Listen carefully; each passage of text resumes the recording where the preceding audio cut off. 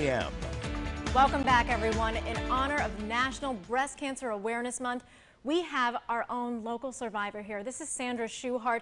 She actually just finished her last round of chemo and radiation. That was September 8th, Sandra. Yes, yes, it was. And it was a long journey that started in December of 2021. And what was that like in December? Okay, uh, I went for my annual mammogram, and at that time, uh, two days later, I was called back for a second mammogram. Being a retired pharmacist, I turned around and asked the technician to look at it, and things did not look good. I, I actually, even before the biopsy, I assumed it was malignant. And so the start of my journey as far as a cancer survivor began at that point in time. And I know St. Peter's has helped you along every step of this journey. What was your original diagnosis, Sandra? Um, it was stage one uh, breast cancer. Um, I had surgery in February of 2022, and I was fortunate, no lymph nodes, and the margins were all clear. Uh, I had an oncotype testing, which is a testing of the tumor, and that came out where they said chemotherapy would be a benefit to me.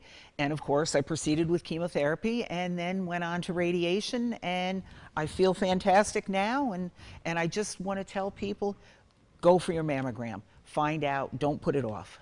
And I know because of your background, you have extra knowledge when it comes to this. Why is it so important that you went to that yearly mammogram and got that diagnosis early? Too many people put it off, and if you mm-hmm. put it off, you can be a stage four, which is a very poor prognosis, a stage one, even a stage two. Your likelihood of survival is 99% at this point in time for a five year survival rate. It's absolutely, to me, don't put anything off. And you still did have to go through that chemo Yes. and radiation. What was that like? I know it's a difficult time. Very time consuming. We have the farm, and so it was very time consuming as far as from my job. But boy, it uh, I- was very fortunate. I didn't have a lot of the side effects.